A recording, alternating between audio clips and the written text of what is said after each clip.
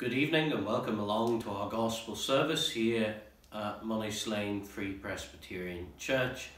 If you have a copy of God's Word, I would encourage you to turn with me, please, to the Psalm 34. The Psalm 34, it's a psalm we've been in before at our prayer meetings, and we were in it uh, last Friday evening at our youth fellowship. But the Psalm 34 is a wonderful psalm. We're going to read all 22 verses. Then we're going to have a short word of prayer and then look at the verse 8.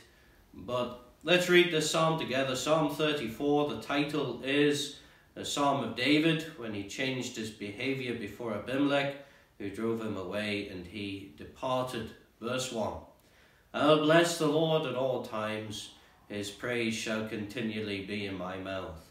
My soul shall make a boast in the Lord, the humble shall hear thereof and be glad.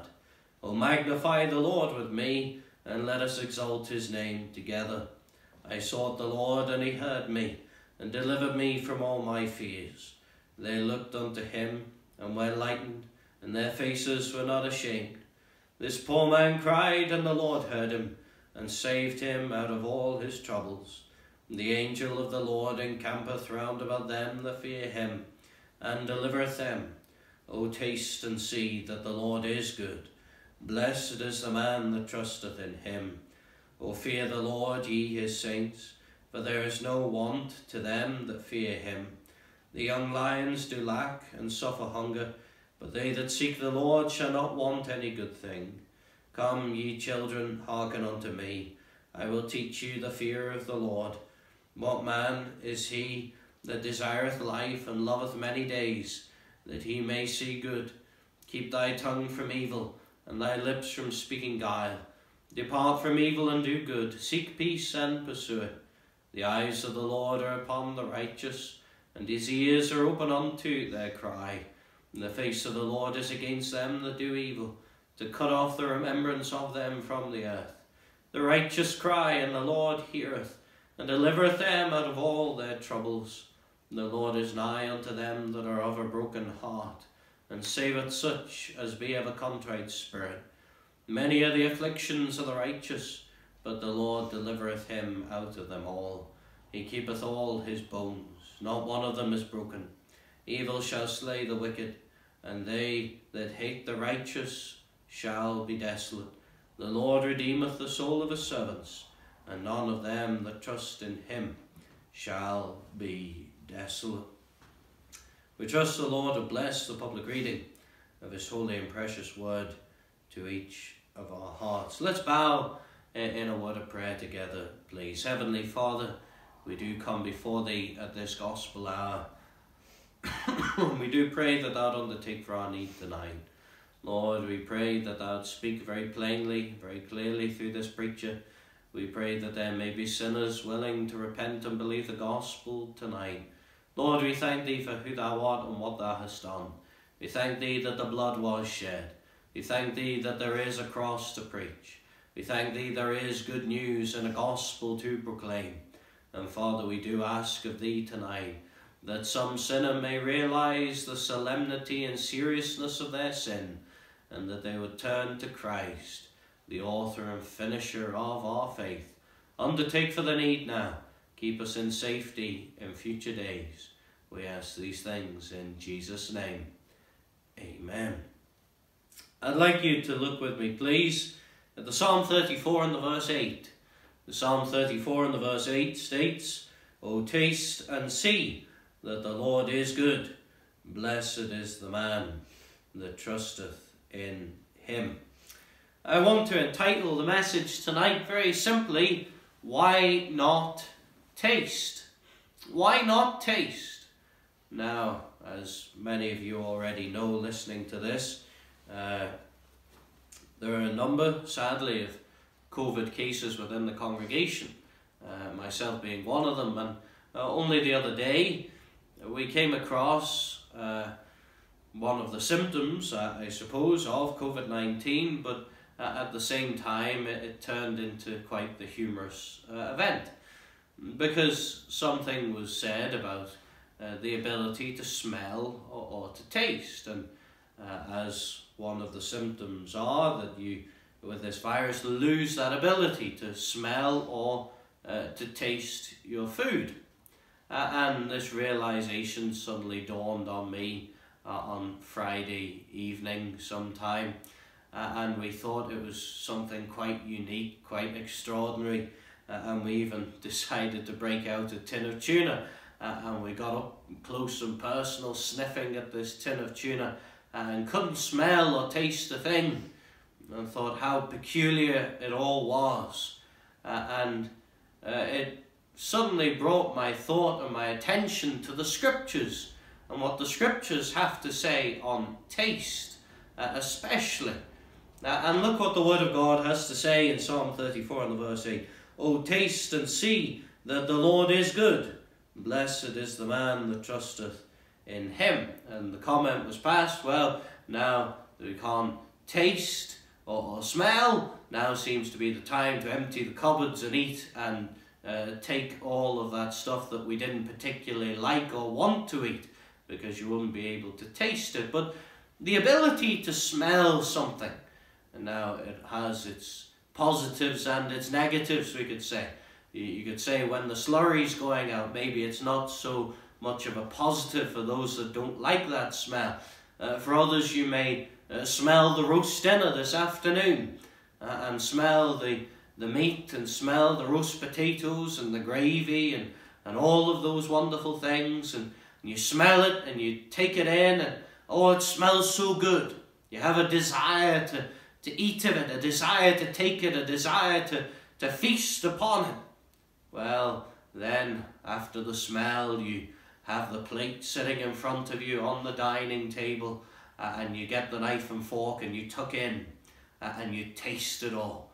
Or you taste how succulent the meat may be, or, or the crispiness of the roast potatoes, and you feel the gravy uh, upon your tongue, and oh, it, it all tastes so wonderful, so good. You see, uh, we have certain desires desires to smell, desires to taste, desires to, to take that which is good and what we want. Well, David is saying exactly the same thing here. He's saying, Taste and see, oh, that the Lord is good.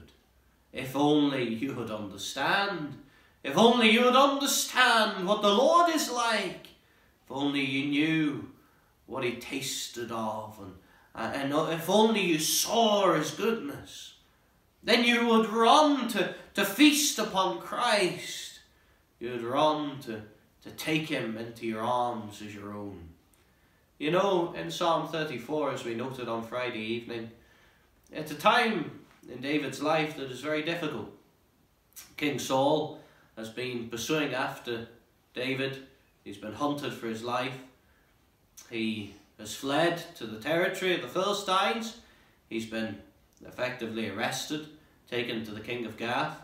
Uh, you've got to remember that he, not so long before, he killed Goliath of Gath, a very dangerous situation, a very real possibility here of David dying. Of course, David knew he wasn't going to die because he'd been anointed the next king of Israel, and when God has gave a promise, it is impossible for God to lie. But nonetheless, a very, very dangerous situation for David to be in. And we find all of that described in the, uh, in the title of the psalm. Talks about David changing his behaviour. he pretended to be a madman, didn't he? Pretended to be crazy, pretended to be what we now call mentally ill. And the king of Gath said, I, I don't require uh, madmen. And David was able to escape the clutches of, of possible death. Well, in all of that, you may say, well, what got him through it all? Well, we find in the verse 1, as we saw on Friday night, I'll bless the Lord at all times, his praise shall continually be in my mouth. You say, how peculiar. Why would the Lord praise, uh, why would David praise the Lord at all times? Why would he have his praise continually in his mouth? What, what a strange thing. Why would that be the case? Maybe you could understand it if everything was hunky-dory and going well and uh, and rainbows and sunshine and all the rest of it, you'd say, well, I could understand David praising God then, but, but not now. Not in this time of trial. Not in this dark hour. Well, what got him through all of those things? Well, the verse 8 tells us what got him through all those things. And he says it in his time of trial and danger. He says, Oh, taste and see that the Lord is good. What got him through? Christ. What got him through the dark hour? Christ. What got him through when it came to meeting up with the King of Gath? Christ. What got him through when he very rarely saw his life flash before his eyes? He could have died by the sword of that ruler. Christ got him through. You know, my friend, as the people of God in Moneyslane, you could say at this time we're going through a dark hour. We're going through times that we do not want to experience and we don't want to go through. But who will get us through? Christ. Christ will get us through. The scriptures say, casting all your care upon him, for he careth for you. The scriptures say, Christ says, I will never leave thee nor forsake thee. Christ will get us through this. We know that. We are the children of God. We are joint heirs with Christ.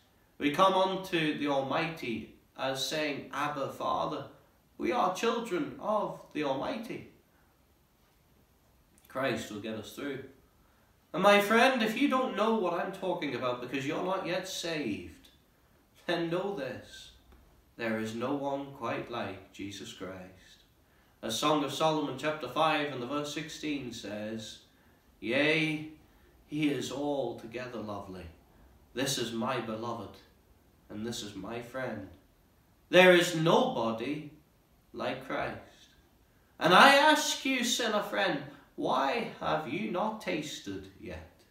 Why have you not tasted of Christ, of his bountiful love, of his beloved provision toward us? Why have you not come to the cross? Why are you not yet saved? Because Christ very literally stands with arms wide open and he's longing to save you. He's, he's desiring to come and change your life and make you a new creature in Christ. So what are you waiting for? The scriptures say of his love, it says, But God uh, commendeth his love toward us in that while we were yet sinners, Christ died for us. The scriptures say, uh, Seek ye the Lord while he may be found, call ye upon him while, it, while he is near. The scriptures say it is time to seek the Lord. The scriptures say, prepare to meet thy God. You know, if we were to go through every single gospel verse in the Bible, verses where the Lord demands of you and pleads with you and entreats you to come unto him, you would hardly believe all of the verses the Lord gives, asking you to come. And this is one of the greatest. Oh, taste and see that the Lord is good. Why have you not tasted yet? I want you to notice with me, firstly, the desire to taste. The desire to taste. now, as I've already said, if you picture that illustration of, uh, of a beautiful meal, maybe even this afternoon, uh, when you had your roast dinner, and you think of it, oh, you think of the smell, you, you think of the aroma floating from the oven and from the kitchen, uh, you think of all that, that fills your desires as you long to, to make it to the table, and you long to pick up the, the instruments, the knife and fork, and dig right into that meal. And then as, as you put it into your mouth and, and you allow the, the flavors to come into your taste buds and, and you chew and you taste and, uh, and you're satisfied. You know, my friend, there is the desire there. The desire to taste the food. Well, I ask you, do you have a desire to taste and see that the Lord is good. Listen just about the Lord for a moment. The Lord Jesus Christ is God's own Son. The Lord Jesus Christ, as God Himself, very God of very God, became man of very man. And He came down to this wicked world of ours. And He became the God man. And the Lord Jesus Christ did something for you and for me he lived a perfectly righteous and sinless life. He did not sin, he could not sin. He was and is and always will be impeccable. And the Lord Jesus Christ, after living that perfectly righteous life on behalf of sinners, he died to pay the punishment for sinners. The Lord Jesus Christ went all the way to the cross. And listen to me as I say this, my friend. Jesus Christ suffered far more than physical agonies. Oh yes, you may you, you may look at the the nails to his hands. You may look at, at the scourging upon his brow. Or, or, you, or, or the scourging upon his back. You may look at, at the thorns upon his brow.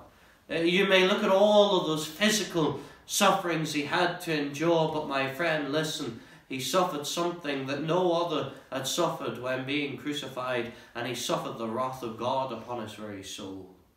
The cup of God's wrath for all of the sins of all of Christ's people was poured upon our blessed Saviour, and it was so huge and enormous the weight of that sin that the Lord cried out, My God, my God, why hast thou forsaken me? Listen, my friend, this is what Jesus Christ did for sinners. This is what Jesus Christ did when it says in the scriptures Christ died for the ungodly. This is what Christ did for you and I. And he lived for us, he died for us, but he rose again for us as well. The third day he left the borrowed tomb. The third day he, he was alive. And then he ascended up into heaven's glory. And today, right now, this evening, he says, I am alive forevermore. And you know what, my friend? He's coming back again.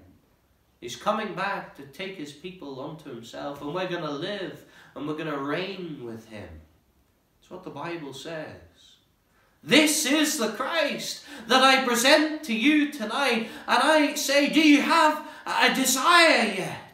Do you have a desire to meet with Him? Do you have a desire to follow Him? Do you have a desire to be His and to cry of Christ that He is mine, mine, mine? I know that He is mine. Oh, taste and see that the Lord is good. There's no one like Christ, and I ask you, do you have the desire to taste yet? But then, secondly, I want you to see the duty to taste. The duty to taste. It's one thing to have a desire, but for some reason, men and women don't desire Christ. You want to know why that is? Because men and women are totally and utterly depraved.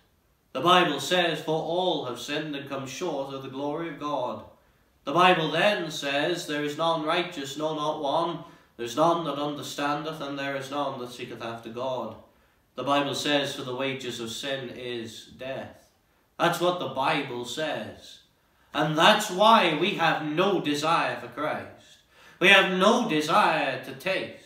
You see, my friend, just hearing about Christ and hearing about who he is and hearing about what he's done and hearing about what he's going to do, that ought to be enough to put a desire within your heart to taste and see that the Lord is good. But you have no desire because you, you love your sin too much. And your sin will condemn you to a lost eternity in hell forevermore if you do not trust Christ. So, my friend, I tell you this you ought not only to have a desire to taste, but you have a duty to taste. Listen, if you want to be saved, if you want to have your sins forgiven, if you want to know that you're saved from hell and on the road to heaven and going to walk through the pearly gates there one day, then you need to fulfill the duty of the sinner and trust Jesus Christ by repenting and believing the gospel. That's what you need to do right now as you're listening to this broadcast online. You need to trust Christ. You need to come to Him and you need to ask Him to forgive you of your sin and you need to turn from your sin before it's too late. As I've already quoted, Romans 6 verse 23 says, For the wages of sin is death, But, but the gift of God is eternal life through Jesus Christ our Lord. You see, Christ is the turning point.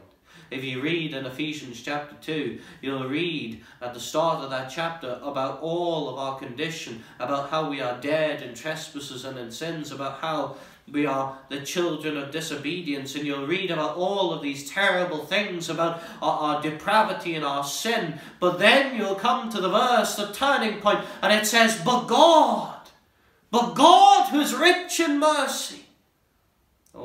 Understand this. There is a duty upon you to trust Christ right now. And I ask you, when will you do it? I trust you'll come to Him before it's too late. Oh, taste and see that the Lord is good. But then I want you to note not only the desire to taste, the duty to taste. Thirdly, the delight in tasting. Oh, you see, people have this idea that the Christian life is about rules and regulations and doing this and doing that and you can't do this and you can't do that. You've got to go to church so many times and, and people almost put across as if it's some begrudging thing to be a child of God. What nonsense. Listen, my friend, there is no greater joy. There's no greater happiness than knowing that you're a child of the King. Oh, no greater joy of knowing that you're saved, you're going to heaven, your sins are washed away. There is no greater delight than in tasting. I don't know. Maybe as a child you had a meal set in front of you. And maybe you didn't want to taste that meal. Maybe you thought, I'm not going to like it, and you didn't even want to try it. Uh, maybe you're a parent that has forced a child to do this as well. Uh, and you put the meal down and you say, you'll like it. And you say, no, I won't. And you say, well, try it. And say, no, I won't. You've got to spoon feed it to them. You know what sometimes happens? They like it. They enjoy it. They ask for more. They ask for seconds. Becomes their favourite meal. You know, my friend, that's what it was like for many of us as Christians. Oh, yes, there was no desire there.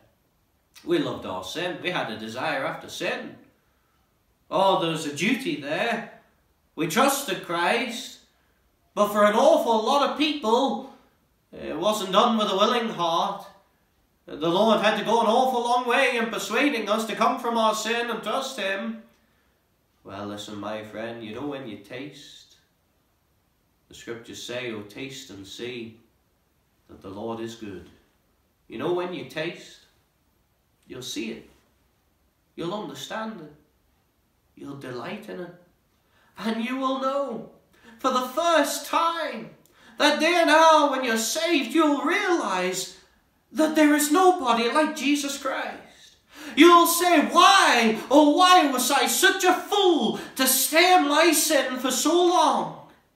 Why did I stay in that condition when Christ was waiting for me, when Christ was stood with open arms, when Christ was longing to take me, to save me, to, to lift me from the miry clay? Why was I such a fool to wait so long? I ask you, sinner, are you waiting? Are you still in your sin? Are you thinking that you're not too sure on Christ yet? What think ye of Christ? The scriptures say when you taste and when you see, oh, you'll know. David knows in his own heart, and he says, You'll know as well. Oh, taste and see that the Lord is good. He is good. Oh, there's not a bad taste going to be left in your mouth when it comes to the Lord. Oh, no. The Lord is good. I trust you'll come to Him today and you'll realize that before it's too late. Last of all, we've seen the desire to taste, the duty to taste, the delight in tasting. Fourthly, the declaration about those that taste. The declaration about those that taste. Look what it says in the verse 8. Oh, taste and see that the Lord is good. Blessed is the man that trusteth in him. You see, there's a blessing for those that come to him. There's a blessing for those that repent and believe. There's a blessing for those that are saved.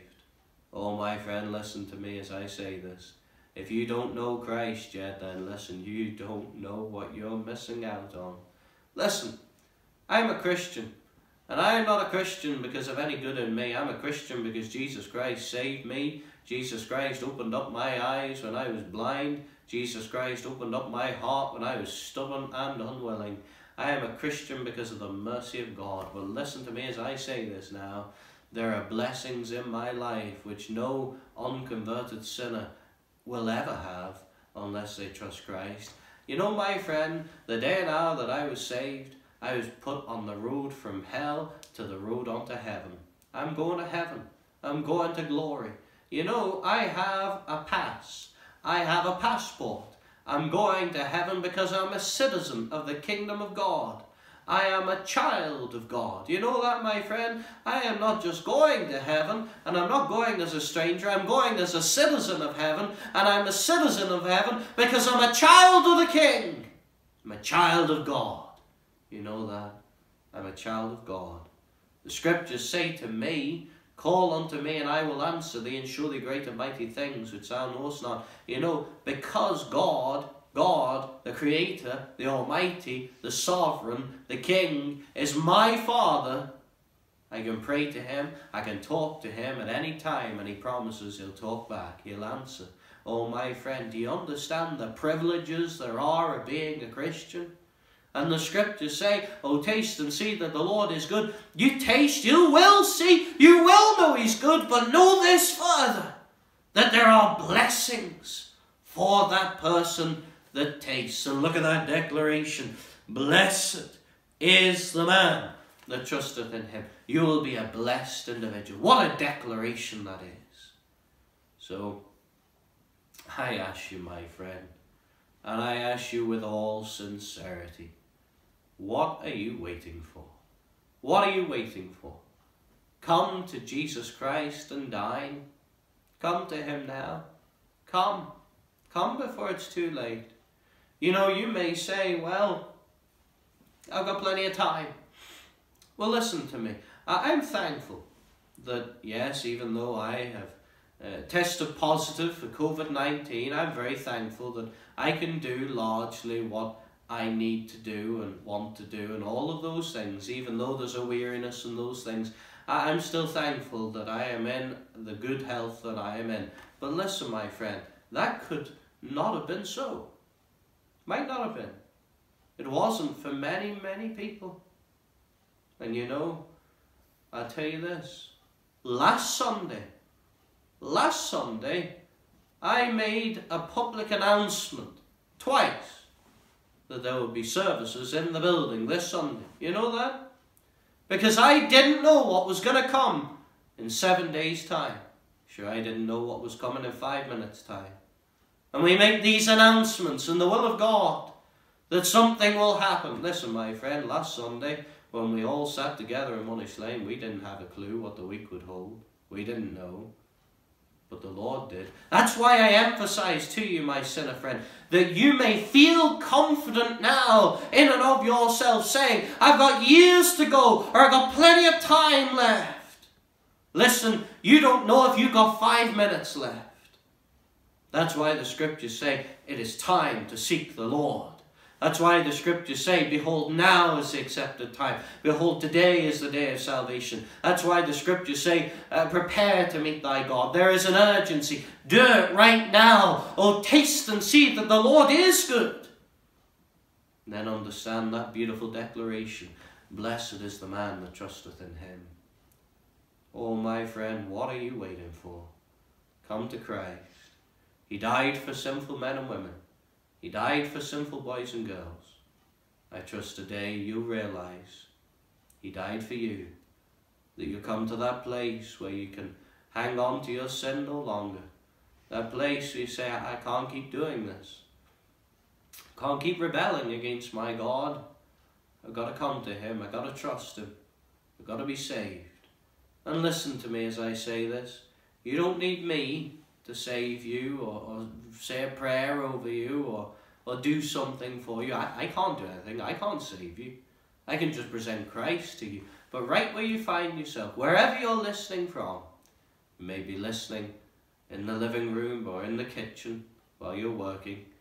Uh, you may be listening uh, in the bedroom or some other room uh, to be quiet from everybody else. You may be listening in the garden or in the car. You'll be listening from anywhere. Well, listen, my friend, Christ will save you right where you are. Christ will take you. He'll redeem you. And all you've got to do is pray to Him. Open up your heart and pray to Him and say, Lord, be merciful to me, a sinner. He'll take you. He'll save you. He'll redeem you. So come today. Why have you not tasted yet? Oh, taste and see that the Lord is good. Blessed is the man that trusteth in him. Heavenly Father, we come before thee tonight and we thank thee for thy word. We pray that thou undertake for our need and bless us abundantly.